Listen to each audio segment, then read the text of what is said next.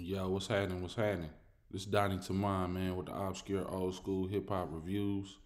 We gonna get into something right now, man. Try to clear the air on what people were saying on my page. Now look, when it comes to freestyle fellowship, Bone Thugs-n-Harmony, they are two different entities. You know? At the end of the day, when freestyle fellowship probably made Mary. That probably was the end of 92, early 93, or just probably was 93. But um I'm gonna get into it. Just really telling y'all the uh reason why I don't think that, you know, Styles was bitten. So look, follow me. Um, with me being a huge Bone Thugs fan my whole life, I heard the music that they made when they were children, you know? Even though they were children when they first came out, uh, when they was babies, babies, when they had when everybody had short hair and they was Bone Enterprise, yeah, man, I definitely, definitely was hearing that music. So let me give y'all the rundown. For uh, I'm gonna start with Freestyle Fellowship. Now, as we knew, Freestyle Fellowship was a, a legendary group. If y'all did not know about Freestyle Fellowship, y'all not from LA, and then y'all don't know nothing about LA hip hop really. Because when it comes to them, their name should be cemented. Cemented is one of the greatest groups ever. Wanna know why? Because they were freestyling.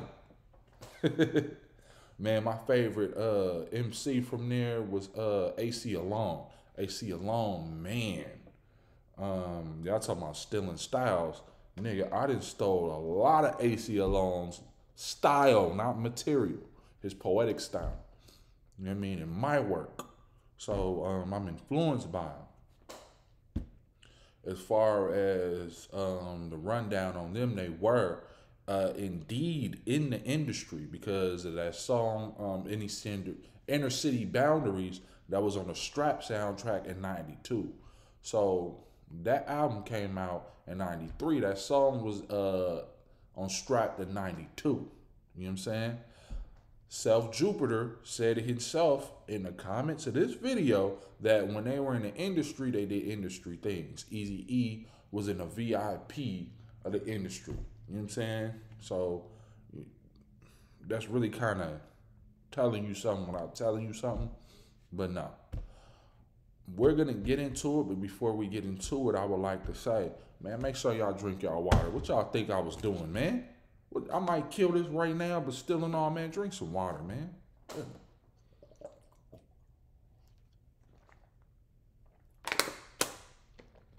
All right. So, yeah, like I was saying, man, I don't think they bit anything. But we gonna get into it right now. Nigga Myka 9, you know what I'm saying? Um, but look, listen, I'm just gonna have to put it in perspective. So that right there, what you just heard, the first 46 seconds of this, it was jazz theme. What is Bone Thugs? They're more R&B, old school R&B, melodic. They're like a singing group. They're like a jazz group. Um, is the flow like uh, Bizzy Bones? Yes. Want to know why? Because they were fucking high. Bizzy Bone was fucking high out of his mind. So, with weed and you just rapping, you're gonna sound like Bizzy Bone at one point when you do it a lot. You know what I mean? But um, I'm gonna get right. I'm gonna get straight into it further in the video though. All right, so listen. My thing about that is, is that are they biting? No, no. Um, you want to know why? Because Bone Thugs have been rapping fast. Uh, when it came to '92, they've been rapping fast for, I think it had been over, huh? I think it had been over three years or two years. Because they, they came out with Faces of Death early on. You know what I mean? It wasn't two years before 94. I think it was 91, 1990. I got to do my research more diligently with that one. But nah, they was nah, they was super young and they made flow motion. I flow flow, then I go and flow mo. I'm gonna give y'all that too one day. Um, but still in all, nah. Nah, I don't think they stole a style. Not because I, I love them niggas, but it's because man, I just gotta call an ace a ace, a spade and spade. Sometimes people are similar. You know what I mean? As far as a notorious B1, that situation, nah, that wasn't no similar situation. You know what I mean? It sounded like, you know, Puff heard it and was like, you got to do this record. It'll be perfect for you. You know what I'm saying? As I stated in the video. You know what I'm saying? Um, but um, I'm going to let y'all uh, decide even more. Watch. All right. Y'all heard that, right? One thing y'all need to realize is that was just Aceyalone and Myka 9 going back and forth. You didn't hear Jupiter. You didn't hear the other dude. You didn't hear the other dude. You know what I'm saying? Um, yeah, man, it is no style biting in this. This one was a huge coincidence, and then they only made one song like that throughout the whole album. But they they have tracks like this on other uh projects. You know what I mean? But throughout the whole album, Innercity Griots, I don't remember them rapping like this on the album. You know what I'm saying? I gotta refresh, of course, because it's been man, it's been like man, it's been uh, it's been like five years since I visited Innercity Griots. You know what I'm saying? As like you know going back and back and back, because I used to play that album, and he- that used to be 2017 heavy rotation Innercity Griots. Check that album out. That's one of the best albums ever. But I haven't picked it up in five years. I'm gonna revisit that today. You know what I mean? But style biting, nah. Bone is was original. They were more, like I said, melodic. You hear a high voice, a high octave, and then you hear a low octave. You know what I mean? It was always that with Bone. This one, no, you don't hear it so much because Myka Nine and uh, Aceyalone, they don't have high voices. You know what I'm saying? They both, you know, got like you know mid tempo. I mean not mid tempo. Damn, uh, the mid and then the deep, and you know what I'm saying. So yeah, I think.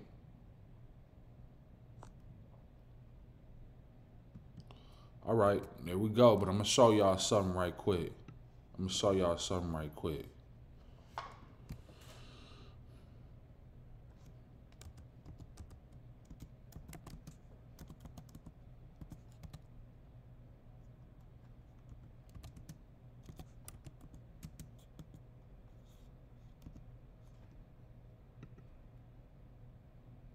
To show y'all something right quick.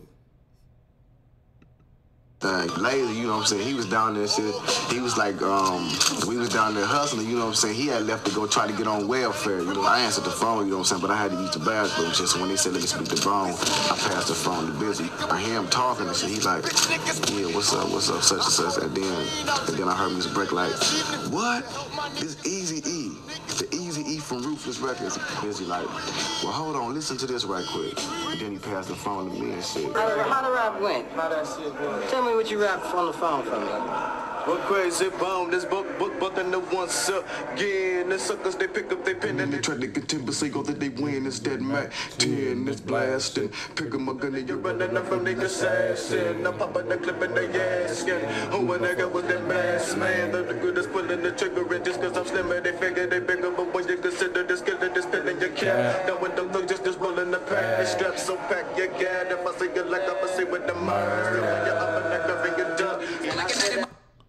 see?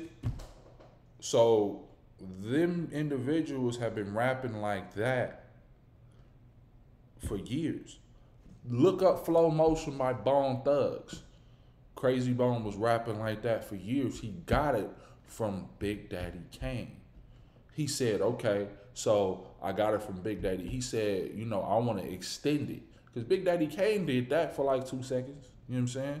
Not literally two seconds, but he did that for, you know, a little bit. But Krayzie Bone was like, nah, man, I want my all my verses to be rap to be just like that after he went to jail for uh accidentally shooting Wish. You know what I'm saying? So, nah, y'all cut it out, man. Ain't no bite. They didn't steal nothing from nobody. You know what I'm saying? Um, some dude asked me, did they steal it from Gangsta Pat in Memphis? They didn't. They like I said, they didn't steal nothing from nobody. Um, when I first heard Gangsta Pat, I thought Gangsta Pat was biting Lynch. Lynch Hung is my favorite rapper in the world, but nah, man, ain't. Nah.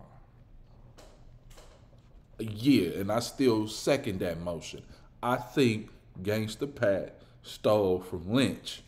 You know what I mean, I'm playing, but nah, not really. But nah, I love y'all, man. Peace out. Until next time, man. Obscure old school hip hop reviews.